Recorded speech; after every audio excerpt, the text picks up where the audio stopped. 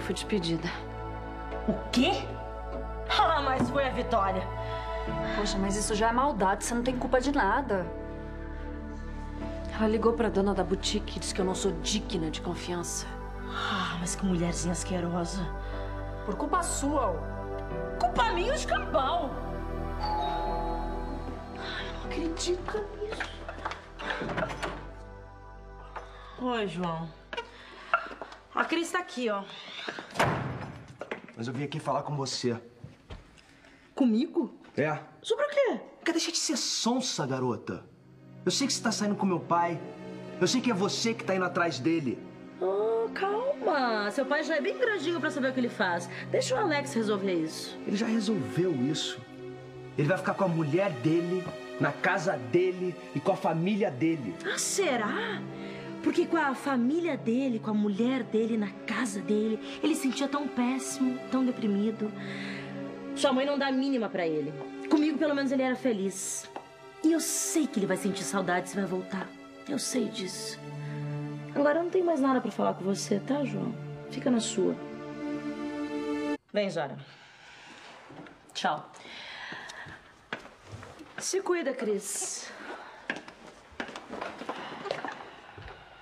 É cap... Por que você não me falou que essa mulher tá saindo com meu pai? Da mesma forma que você não me falou que era noivo. É, mas uma coisa não tem nada a ver com a outra. Eu não tenho mesmo. E nas duas eu me danei. Eu não podia contar o segredo da inocência. Você podia sim! Você foi cúmplice! Nunca, João. Eu sempre disse que ela estava errada, mas eu não mando na vida dela. Então você devia ter me falado! Como? Por quê? Olha, João, seu pai tá tendo um caso com a minha amiga. Ele trai a sua mãe. Ele não estaria se divorciando hoje. E eu lamento, de verdade. Mas você não pode exigir de mim o que não foi capaz de fazer. Você me enganou. Eu? Você me enganou.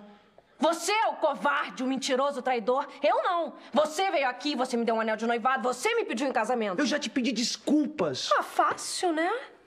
Pois é. Olha, João, eu lamento muito pela sua mãe. Mas eu tô fora dessa confusão. Se o seu pai e a Inocência se conheceram, se apaixonaram, isso é problema deles. Eu não tenho nada a ver com isso. Agora sua mãe resolveu me culpar, me perseguir, jurou que ia me destruir. E tá fazendo isso mesmo. Ela obrigou a dona da boutique a me demitir. Cara, se ela fez isso, ela tá errada. Eu vou falar com ela. Ah, deixa de ser cínico, João. Falar pra quê? Se você mandou ela me demitir da Maison? Eu? Que quando eu soube disso, eu saí de casa assim que eu soube que ela... Quem foi que te falou isso? A Marion. Ah. Ela veio aqui e fez questão de dizer que você pediu a minha demissão. Mas é mentira! Cara, eu não suporto mais essa garota! Se você soubesse, eu, eu só me casei. Porque ela tá esperando um filho seu. Ela também fez questão de me dizer isso. Eu só não te contei isso porque eu não queria te machucar mais. Você só não me contou pra eu não saber que a sua traição era ainda pior. Que você transava comigo e com ela. Agora eu acho que tá na hora de você ir embora daqui, João. Você tem que me ouvir. Eu não quero te ouvir. Tem que saber que eu te amo. Você nunca me amou, João. Você mentiu, me usou, me traiu. Só isso que você fez. Agora, por favor, vá embora daqui. Eu sei que eu errei. Eu sei que eu fui um canalha. Mas eu sempre te amei. Desde o primeiro dia que eu te vi. Você lembra quando a gente se viu a primeira vez? Você me deu o céu quando você sorriu pra mim. Quando eu cheguei de Belo Horizonte, eu só não te procurei porque eu, eu não queria mais mentir pra você. Eu tava apaixonado por você. E aquela louca daquela Marion tava chegando da Europa, falando que tava grávida. Ela me ligou dizendo que tava grávida. Eu precisava terminar com você. E você me chutou pra fora da sua vida sem dó nem piedade. Porque a gente sempre foi namorado desde a infância. Daí a gente ficou noiva no passado. Nossa, que história comovente. Mas não me convence, não, João. E quer saber? Você fica noivo com muita facilidade pro meu gosto. Olha só, eu mereço ouvir tudo que você quiser dizer. Que eu te traí, que eu te machuquei, que eu fui um mentiroso, que eu fui um canalha. Mas nada disso apaga o que eu sinto por você. Eu te amo. É mentira. Eu te amo, eu te amo. Vai pro inferno, João! Cara, eu sei que você me ama do jeito que eu te amo, vai. Não tem por que a gente se separar, Cris. Fica comigo.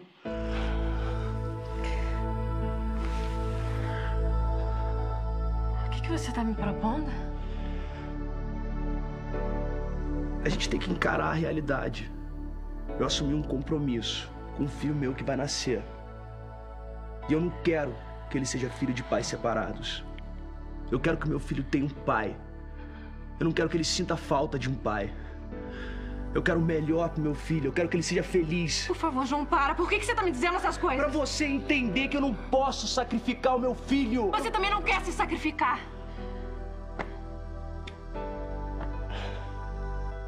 Eu sei que eu acabei com a tua carreira. Eu sei que eu acabei com a tua vida.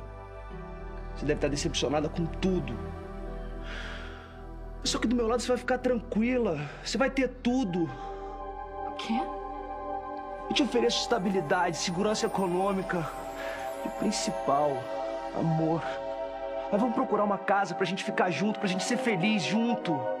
Você quer que eu me torne a sua amante? Não, não fala assim. Eu quero que a gente continue se amando. Não me ofenda. E se você não pode me oferecer um amor de verdade, pelo menos me respeita, João. Você deve estar me confundindo com a inocência, né? Mas se você pensa que só porque nós duas moramos juntas nós somos iguais, você está muito enganado, João. Eu não aceito ser a outra na vida de ninguém. Cristina, me escuta. Eu pude ser sua enquanto você foi meu. Mas eu não vou te dividir. Meu orgulho é grande demais para eu me rebaixar isso.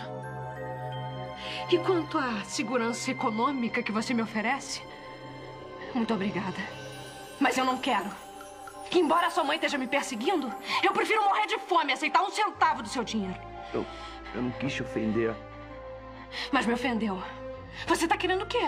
Que eu me torne uma vagabunda? João, vai embora daqui. Some da minha vida, desaparece! Vai ficar com essa mulher e com o filho que ela tem.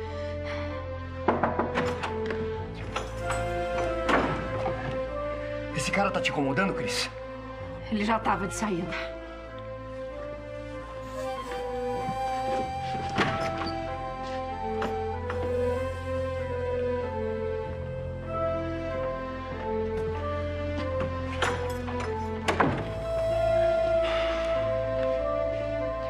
Desculpa entrar assim, Cristina, mas minha mãe viu quando ele entrou e eu queria saber como é que você tava.